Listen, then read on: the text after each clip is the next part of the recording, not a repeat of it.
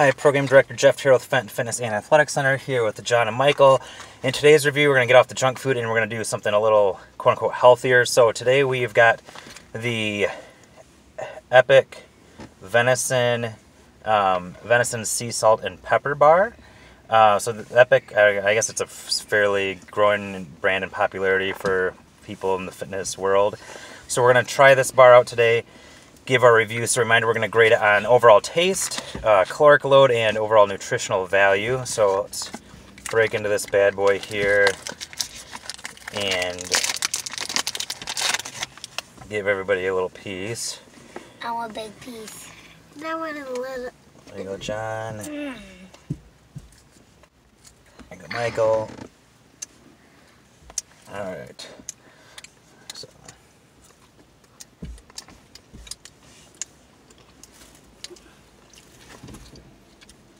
So it takes a second to chew it up. So, um, overall taste for what it is, I give it an 8 out of 10 on the taste.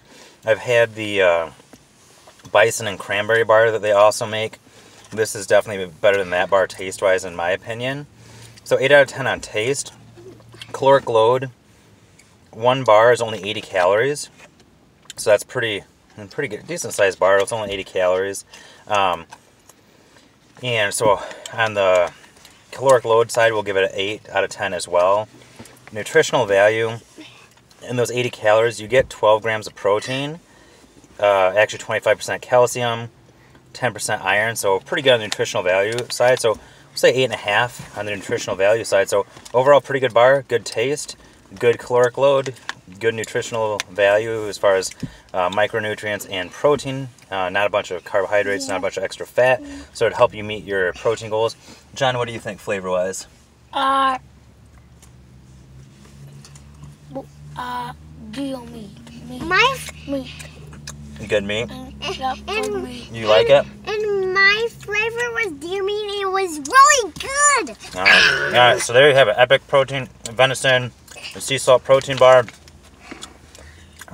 Overall score, 8.5 out of 10.